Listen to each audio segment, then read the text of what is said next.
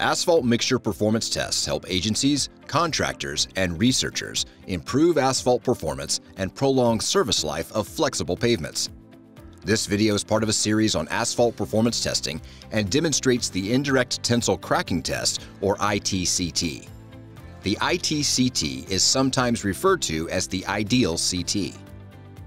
CASTM D8225-19 standard test method for determination of cracking tolerance index of asphalt mixture using the indirect tensile cracking test at intermediate temperature.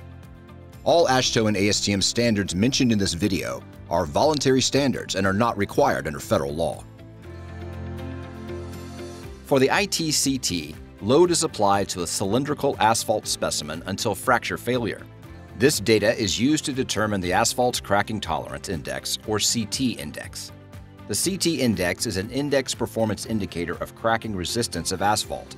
Typically, the higher the CT index value, the greater the cracking resistance of the mixture.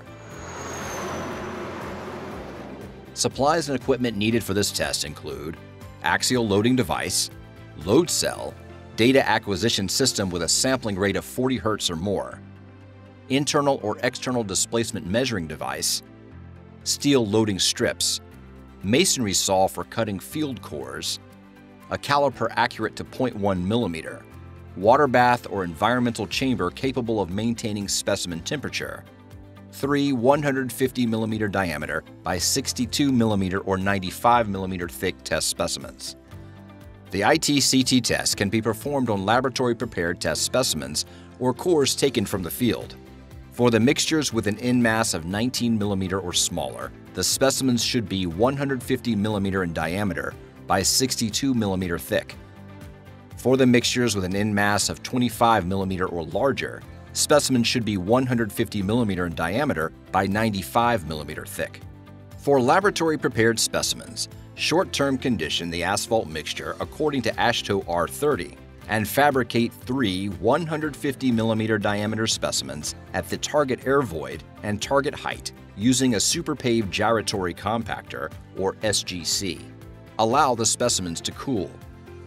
Determine the test temperature based on the climatic intermediate performance grade temperature as described in the standard. Condition test specimens in an environmental conditioning chamber or water bath at the target test temperature for 2 hours plus or minus 10 minutes. If water bath is used, use a sealed bag to prevent moisture ingress to the test specimen. Inspect the fixture to ensure all contact surfaces are clean and free of debris.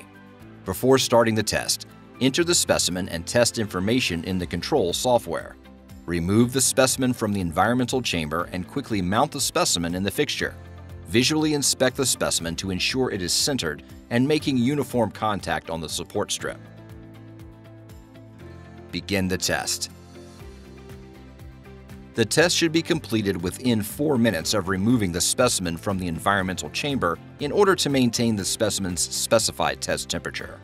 Apply load to the specimen in load line displacement or LLD control at a constant rate of 50 mm per minute. Stop the test when fracture failure occurs or the load drops below 100 newtons. During testing, record the time, load, and displacement at a minimum sampling rate of 40 data points per second to obtain a smooth load LLD curve. The curve should have a clear peak and smooth increasing and decreasing slopes before and after the peak, respectively. After testing is complete, remove the specimen and clean the equipment.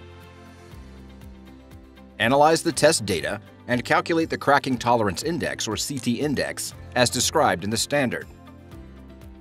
An ITCT data report may include the following parameters for each test specimen.